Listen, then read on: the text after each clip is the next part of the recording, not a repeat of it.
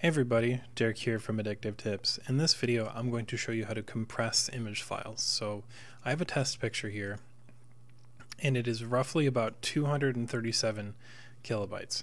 Not a whole lot, but let's say I just want to save a, a uh, it's not it's not a huge uh, a huge file, but you know not a whole lot of, of data here. But let's say that I'm uploading it to a website that doesn't allow me to upload anything that's 237 and this is just a proof of concept, but it does work. So you need to learn how to install imcompressor. And to do that, you can check the link in the description. So once you have it installed, open it up like so. Then you can click the Browse Your Files button, and now let's go to the desktop here, click Open. So now, as soon as we upload it, it's going to take our test file and it will do stuff and it will start compressing it.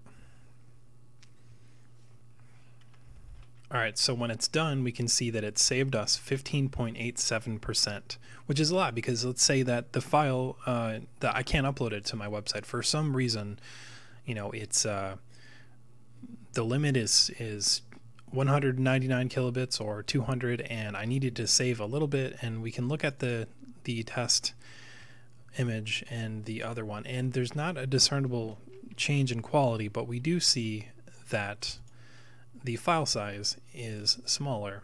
And this comes in handy if you have some massive uh, image files. I do have some massive ones, but it would take too long to compress them down. And maybe they're too big to upload to your favorite social media website.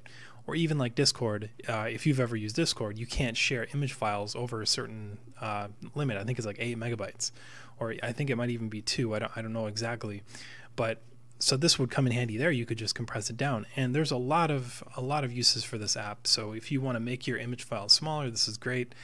It will rename the new file with a dash min. So you can see test and then dash min test dash min. So just a quick guide on how to compress image files on Linux. I hope you guys enjoyed this video and I will see you in the next one